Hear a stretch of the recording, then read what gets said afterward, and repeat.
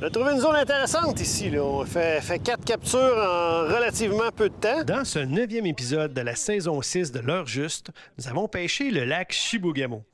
Ce grand lac du nord du Québec est situé à une vingtaine de minutes de route avant la ville de Chibougamau. C'est un grand lac de 35 km de long qui atteint un maximum de 15 km de large. Ses nombreuses baies et ses dizaines d'îles en font un paradis pour le doré.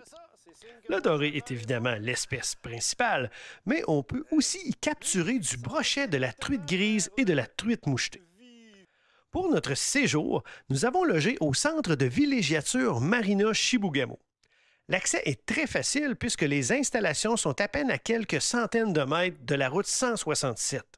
On y retrouve dans le bâtiment principal une belle salle à manger et une magnifique terrasse avec vue sur le lac.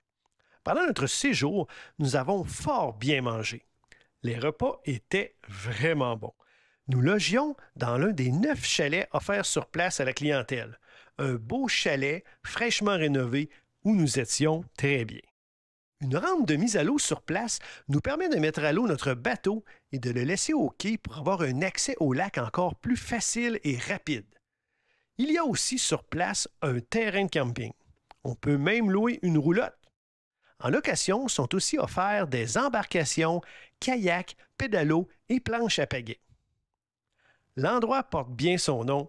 C'est un centre de villégiature tout à fait parfait pour profiter du magnifique lac Chibougamau et bien sûr aussi aller pêcher ce délicieux poisson qu'est le doré.